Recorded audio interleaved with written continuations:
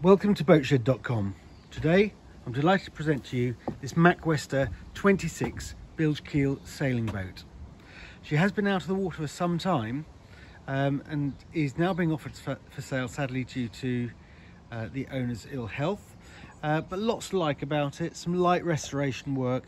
Equipment hasn't been tested, although I did run the bilge because there's rainwater in there. So the automatic bilge works which means the batteries are being topped up by the solar.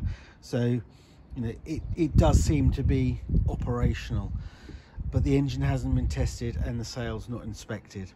But she's all there. Some woodwork needs just a bit of polish and a very good clean and I think we really could make something of her.